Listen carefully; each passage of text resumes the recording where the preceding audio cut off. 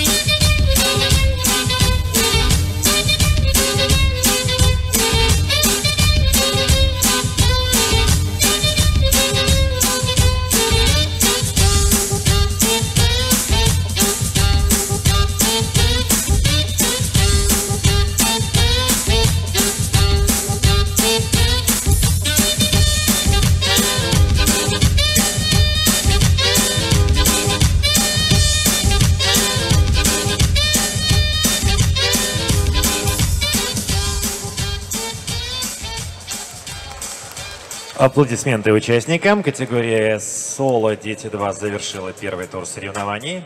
А программу открытого кубка города Минска продолжит категория «Школа танца».